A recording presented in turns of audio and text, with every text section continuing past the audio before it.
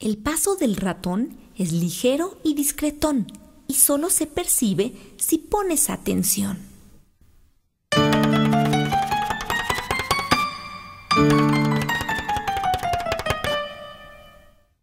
Los pasos de elefante son fuertes, son grandes, retumba hasta la tierra por estos gigantes.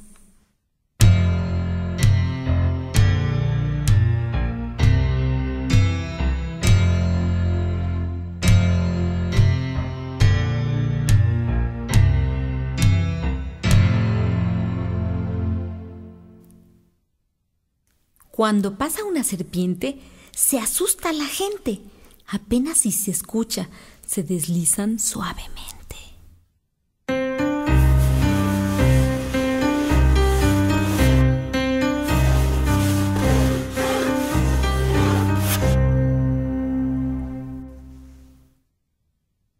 El paso del caballo tiene ritmo y vigor.